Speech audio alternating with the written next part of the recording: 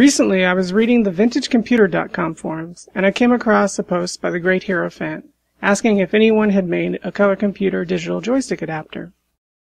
He linked to an article with a circuit, and I thought, hey, I might be able to build that. First, a word about the color computer's joystick interface. It is less joystick and more double paddle. Joysticks of the time were usually built as four switches.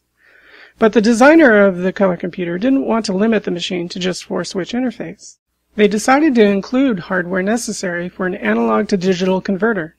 You see, each joystick is actually a pair of potentiometers.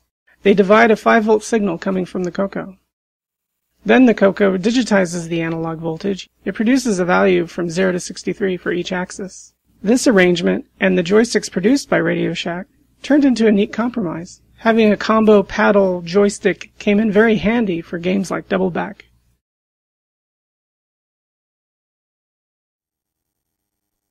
Or Polaris. But sometimes one wants to get their arcade on. For games like Megabug and Canyon Climber, the long throw of the Radio Shack joystick can make their experience subpar. I decided to build the adapter. I gathered up all the parts and built a breadboard version of the circuit. This was successful, so I moved on to preparing the box. If the D-Sub 9 plug is mounted to the outside of the box, a lot of hole cutting error can be hidden but I wanted to mount the D-sub connector on the inside of the box. This requires a near perfect hole to be punched through the aluminum. No problem. We make cutting dies at work.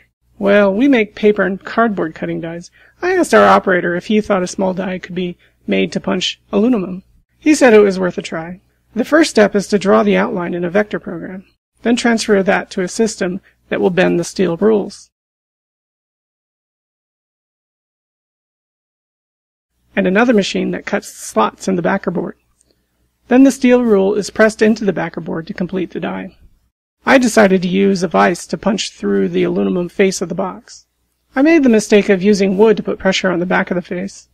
It was too compressible and the aluminum pillowed, but after some cleaning up with a hammer, I was happy with the result.